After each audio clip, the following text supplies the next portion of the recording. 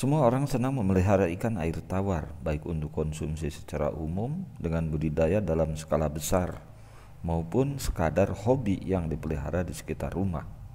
Namun ternyata ada beberapa kendala yaitu dengan mahalnya harga pakan yang harus dibeli.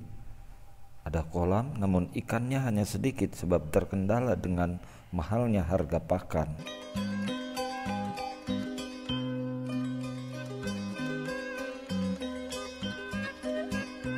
Untuk mengatasi pakan yang mahal, sebetulnya ada solusi membuat pakan secara organik dengan bahan yang mudah didapat.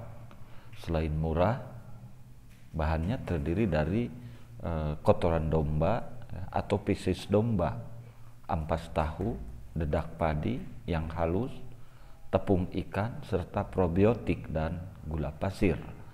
Semua bahan ini dicampurkan dalam satu drum kemudian dipermentasi selama 24 jam. Maka pakan yang mahal bisa dijawab dengan sendirinya.